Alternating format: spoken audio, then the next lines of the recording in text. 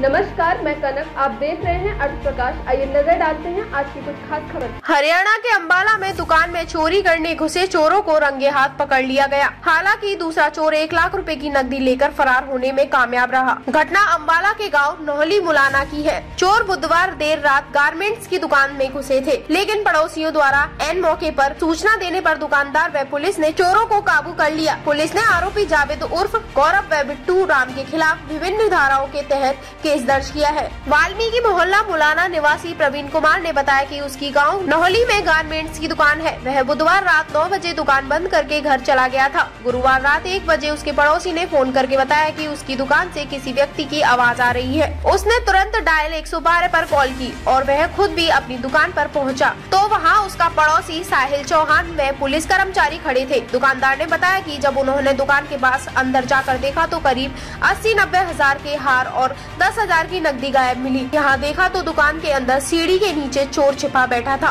पूछताछ में आरोपी ने अपनी पहचान जावेद उर्फ़ गौरव रमज़ान बताई। आरोपी के हाथ में दस दस के नोटों की एक गड्डी थी। उसका दूसरा साथी बिट्टू फरार हो गया था। पुलिस ने आरोपी जावेद उर्फ़ गौरव को तुरंत काबू कर लिया और धारा चार सौ सत्तावन बटे तीन सौ अस्सी व पाँच सौ ग्यारह के तहत केस दर्ज कर दूसरे चोर की तलाश शुरू कर दी है।